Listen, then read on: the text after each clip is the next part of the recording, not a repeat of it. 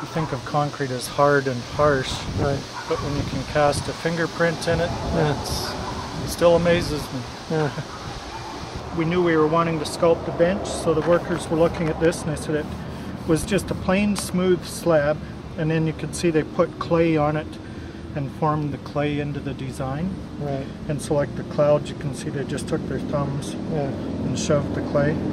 And there's how many different places you can see the fingerprints of the person who molded the clay. and then the mold was made from that, and Yeah. every piece we pour will have that person's fingerprints in them. Okay, most of our molds now have a latex liner, which gives us more detail.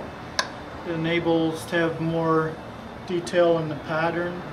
A hard mold needs to be able to pull straight off Right. and will then leave more seam marks and we cannot get the same detail.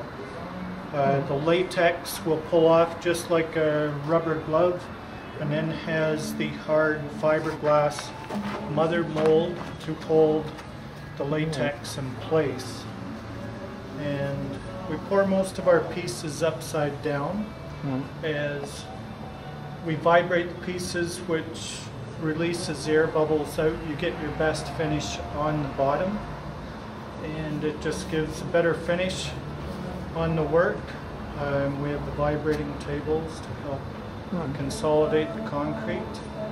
And uh, as our company logo states it's made to withstand Canadian winters. We use pretty much the latest technology. Um, we have additives we put in our concrete, Right. so just like an MTO or hydro spec concrete, uh, it needs to be made to withstand the weather. So here's So country, country, country garden. All right. How long have you been here? We opened in '99. I've been in concrete for well, over 25 years, so. We have one over there with a finish on it. Yeah.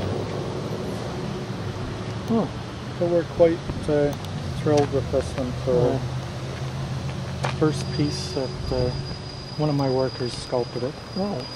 And,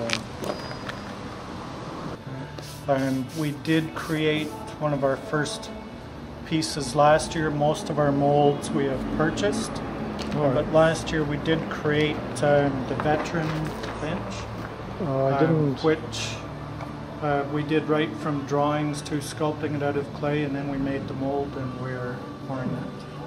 So. Do you do like custom work or is it all kind of?